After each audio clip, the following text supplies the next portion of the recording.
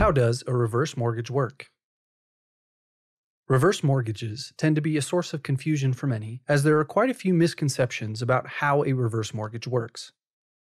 Reverse mortgages take the equity that has accumulated over time in an elderly borrower's home and pays it back to them through either installment payments, line of credit, or in a lump sum.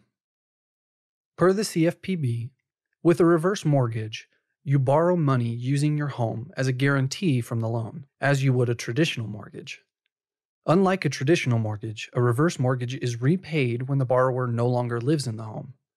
Although you won't make monthly mortgage payments, you'll need to continue to pay property taxes and homeowners insurance and keep your house in good condition. Because interest and fees are added to the loan balance each month, your loan balance goes up, not down, over time.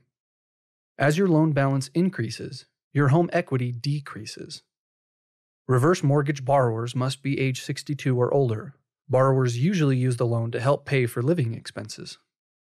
The installments that the elderly borrower receives during the reverse mortgage come from the negative amortization of the loan. The lender of the reverse mortgage will make payments to the borrower based on the built up equity in the home. Typically, reverse mortgages do not require the borrower to make any payments until the borrower dies, sells the home, or moves out permanently. If the borrower dies, there are a few options regarding how the reverse mortgage may be satisfied. First, the borrower's estate or heirs may sell the home and pay off the reverse mortgage. Next, the borrower's estate or heirs may pay off the reverse mortgage and keep the property. Last, the borrower's estate or heirs may surrender the property to the lender of the reverse mortgage.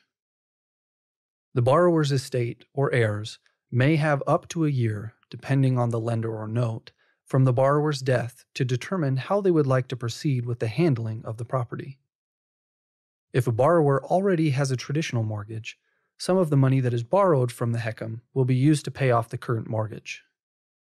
If they owe a lot on their current mortgage, they may not have much or any money from the reverse mortgage left to spend on other things. The benefit would be that they would free up the money they've been paying monthly on their current mortgage to use for other purposes. There is no prohibition to a borrower who would like to sell their home if they have a reverse mortgage. If the borrower's reverse mortgage balance is less than what the home is worth, the sale of the house will work like any other sale of the house. The house will be sold, and the profit will be used to pay off the reverse mortgage.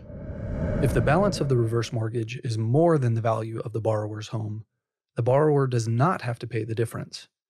When the borrower sells their home for the appraised fair market value, mortgage insurance pays the remaining balance of the loan.